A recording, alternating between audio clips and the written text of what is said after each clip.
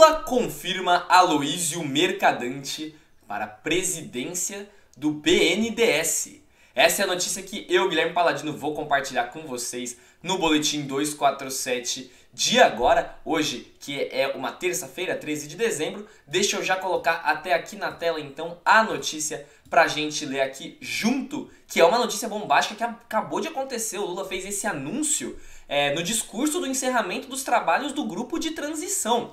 Então, já indo direto aqui para a notícia, mas antes só pedindo para vocês, por favor, deixarem um like no vídeo para não se esquecerem de fazer isso no final do vídeo. Então já deixa o like agora e também inscreva-se na TV 247, que assim você não vai perder nossos boletins, lives, enfim, todos os conteúdos que a gente sempre traz aqui para atualizar, comentar e informar sobre tudo relacionado à política brasileira.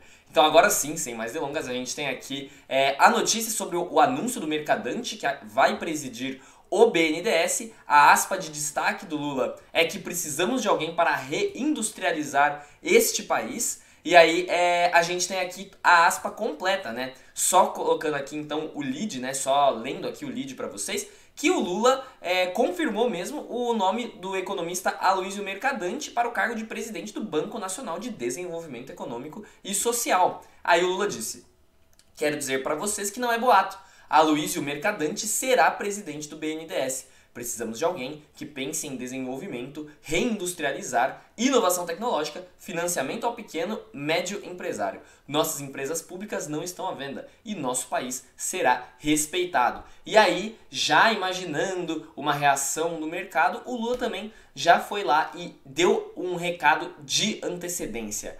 É, ao mercado, eu gostaria de dizer Digam se em algum momento o mercado ganhou tanto dinheiro como no meu governo. Provamos que é possível governar para todos. Crescimento do PIB só tem sentido se a gente distribuir o crescimento com aqueles que produziram o crescimento, que é o povo trabalhador. Então aí a declaração do Lula e a notícia da confirmação do mercadante para presidir o BNDES. E essa foi a notícia de hoje. Gostaria de pedir, por favor, se você gostou desse vídeo, deixe um like no vídeo que assim você vai estar tá impulsionando ele, o algoritmo do YouTube vai entender que você gostou, vai recomendar para outras pessoas que têm um gosto parecido com o seu.